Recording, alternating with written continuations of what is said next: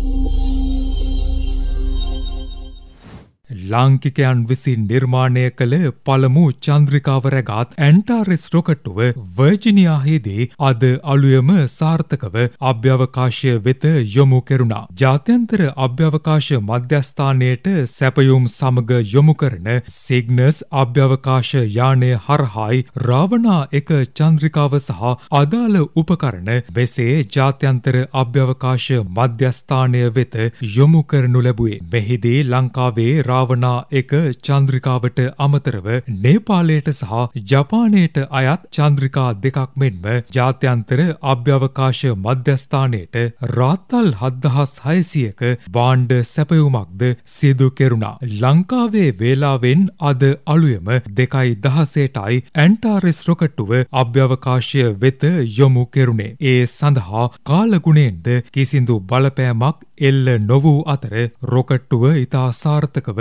ගමන ආරම්භ කළ බවයි නාසා ආයතනය නිවේදනය කළේ. ලංකාව චන්ද්‍රිකා තාක්ෂණයට අවතීර්ණ කරමින් රාවනා එක චන්ද්‍රිකාව නිර්මාණය කරනු ලැබුවේ මොරටුව ආතසීක්ලාක් මධ්‍යස්ථානයේ ඉංජිනේරු දෙපලක් වන තරිඳු දයාරත්න සහ දුලානි චාමිකා විසිනුයි. ජපානයේ කියවෂු සරසවියේ බර්ඩ් 3 ව්‍යාපෘතිය යටතේ ලංකාව ජපානය සහ නේපාලය වෙනුවෙන් මෙම චන්ද්‍රිකා නිර්මාණය කෙරුණා. මෙසේ නිර්මාණය කළ රාවනා එක චන්ද්‍රිකාව ඇතුළු චන්ද්‍රිකා ජපාන අභ්‍යවකාශ ආයතනය විසින් නාසා ආයතනය වෙත භාරදීමෙන් පසුවයි අද ජාත්‍යන්තර අභ්‍යවකාශ මධ්‍යස්ථානය වෙත යොමු කරනු ලැබුවේ. එහි සිටින ගගනගාමීන් විසින් මෙම චන්ද්‍රිකා පෘථවි කක්ෂය වෙත මුදා හැරීමට නියමිතව තිබෙනවා. මේ සම්බන්ධයෙන් අදහස් දක්වමින් චන්ද්‍රිකාව නිර්මාණයට දායක වූ දුලානි චාමිකා ප්‍රකාශ කර තිබුණේ රාවනා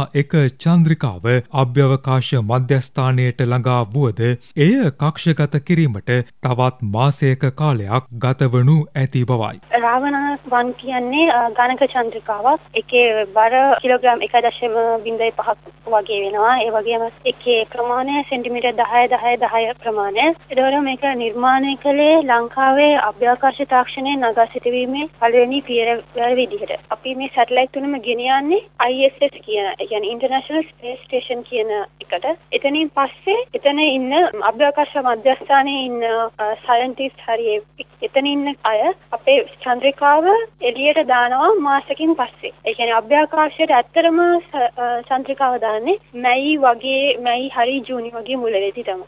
මේ අභ්‍යවකාශ මධ්‍යස්ථානයට යොමු කළ රාවණා එක චන්ද්‍රිකාව මගින් සිදු කිරීමට අපේක්ෂිත මෙහෙයුම් පිළිබඳව ඇය පළ කළ අදහස් එකතුවයි. ලංකාව සහ ආසන්න කලාපවල පින්තුර ගන්න. එතකොට අපි තව භාවිතා කරන ලෝරා කියන අලුත් මොඩියුල් එකක්. ඒක ඊළඟට හදන සැටලයිට්ස් වලට පාවිච්චි කරන්න ටෙස්ට් කරන එක තමයි අපි මේකෙන් කරන්නේ. මේ අපේ සැටලයිට් එකකින් කරන්නේ. ඒ වගේම අපි මේ සැටලයිට් එකකින් චුම්බක ශ්‍රේෂ්ඨය පිළිබඳව පෘථිවියේ චුම්බක ශ්‍රේෂ්ඨය පිළිබඳව අධ්‍යයනය කරලා ඒතරතුරු අපේ පාලක මැදිරියට ගන්න සැලසුම් කරලා තියෙනවා. ඒ වගේම අපි තව හදලා තියෙනවා සැටලයිට් එක අප්‍රාකාශගත කරාම ඒකේ වේගය වැඩි, කැරකෙන වේගය වැඩි. ඒ කැරකෙන වේගය අවම කරන්න අපි පද්ධතියක් හදලා තියෙනවා. ඒතකොට ඒක ටෙස්ට් කරලා ඒකෙන් අපේ සැටලයිට් එකේ වේගය දත්ත විදියට පාලක මැදිරියට ගන්න අපි සැලසුම් කරලා තියෙනවා. ඒ වගේම අපිට තව හදලා තියෙනවා දැන්ට පාවිච්චි කරන දෘඩුකාංග ක්‍රමය වෙනුවට software define ඒ කියන්නේ මෘදුකාංග ක්‍රමයක් අපේ සැටලයිට් එකේ ඒ කියන්නේ parts හයි කරන්න මෘදුකාංග ක්‍රමයක් අපි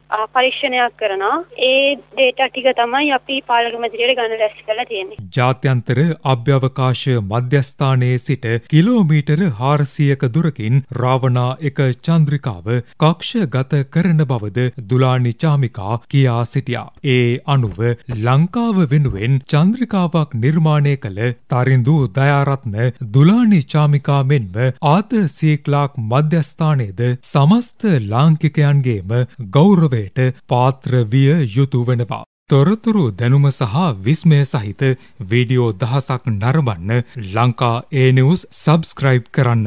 නවතම වීඩියෝ සඳහා පහත සීනුවේ බොත්තම සක්‍රිය කරන්න.